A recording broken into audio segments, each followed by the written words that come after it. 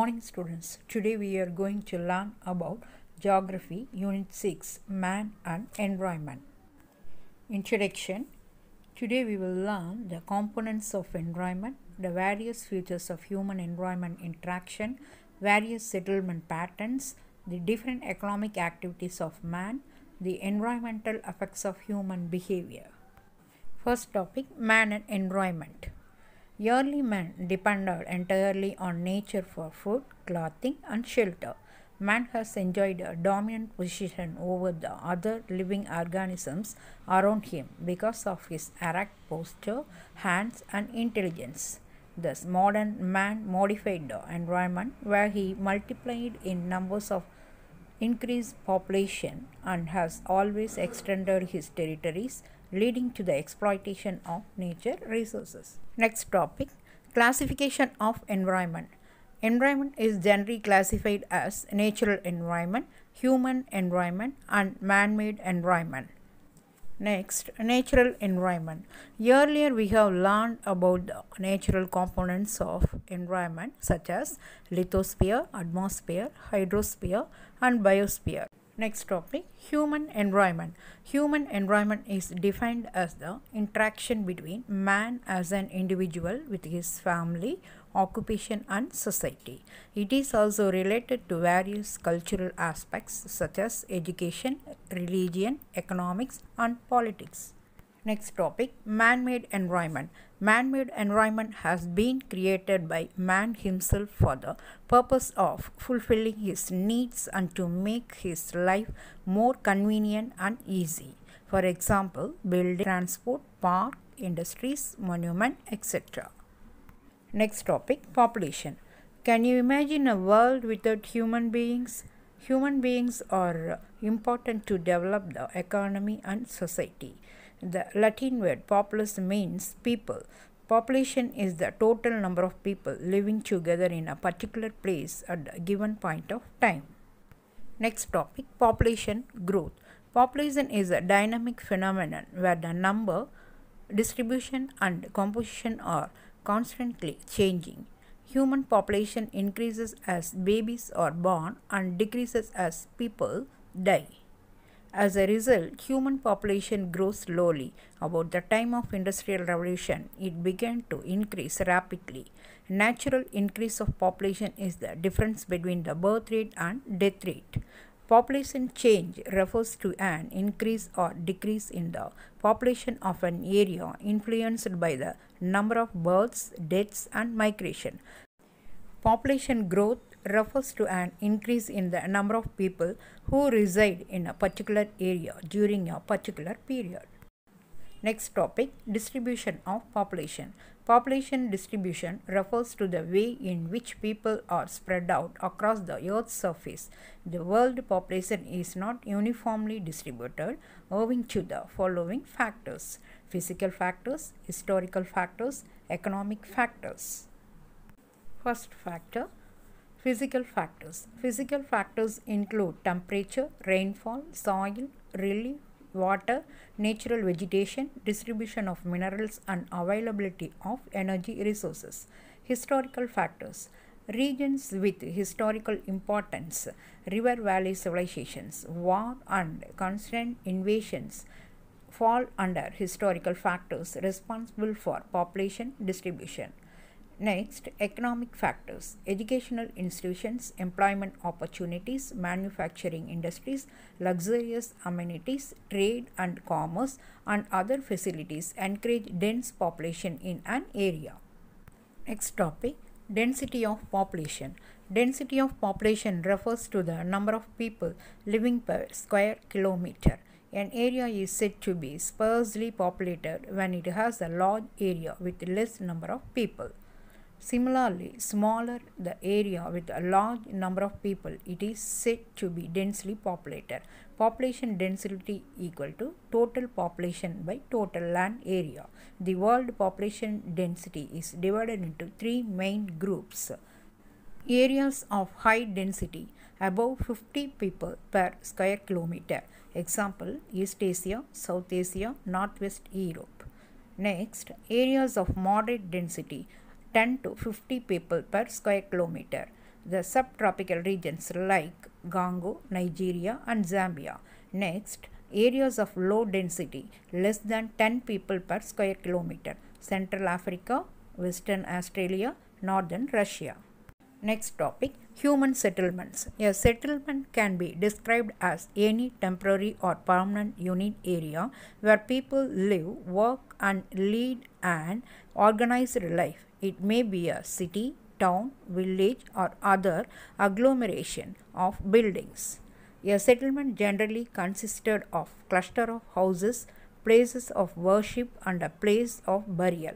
Later, small settlements developed into villages. Several villages together formed a town. Bigger towns developed into cities. Settlements were formed in different shapes, size, and locations. Next topic Classification of settlements. On the basis of settlements may be classified as rural and urban settlements. Rural settlements any settlement where most of the people are engaged in primary activities like agriculture, forestry, mining, and fishery is known as rural settlement. Next topic patterns of rural settlements. First, rectangular pattern. Rectangular pattern of settlements are found in plain areas or valleys. Next, linear pattern.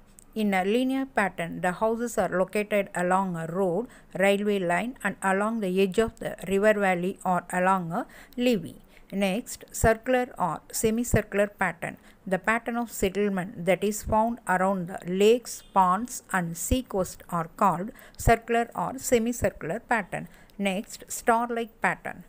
Where several metalled or unmetalled roads converge, star-shaped settlements develop. In the star-shaped settlements, houses are spread out along the sides of road in all directions. Next, triangular pattern. Triangular pattern of rural settlement generally develop at the confluence of rivers.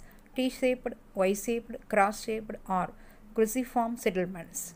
T-shaped settlements developed at tri-junctions of the roads. T, while Y-shaped settlements emerge as the places where two roads converge with the third one. Cruciform settlements developed on the crossroads which extend in all four directions. Next, nebular pattern. The arrangement of roads is almost circular, which ends at the central location or nucleus of the settlement around the house of the main landlord of the village or around a mosque, temple, or church. Next, urban settlements. People are primarily engaged in non agricultural activities such as secondary, tertiary, and quaternary activities. Next, classification of urban settlements. Urban centers are classified as town, cities, metropolitan cities, megacities, conurbation, etc. First, town. A town is generally larger than a village but smaller than a city. It has a population of less than 1 lakh. Example, Arakonam near Chennai. Next, city. Cities are much larger than towns and have a greater number of economic functions. The population in cities are estimated to be more than 1 lakh. Example, Coimbatore.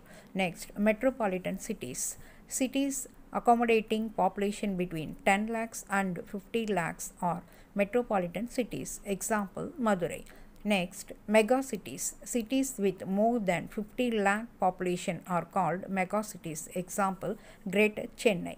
Next, conurbation. A conurbation is a region comprising of a number of cities, large towns and other urban areas. Example, Delhi conurbation.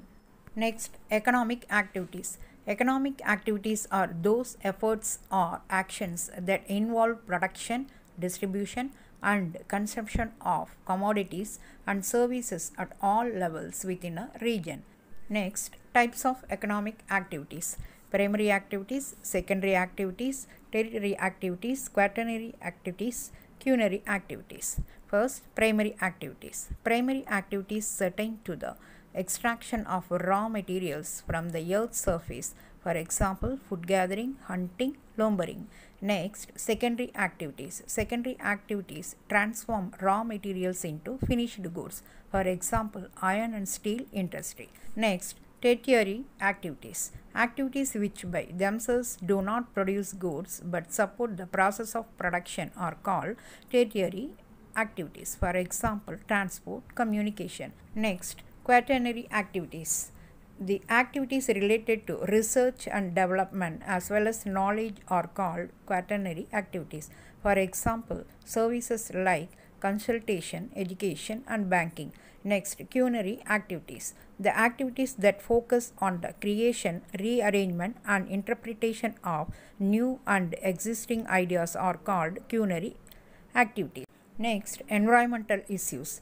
Environment is the basic life support system that provides air, water, food, and land to all living organisms.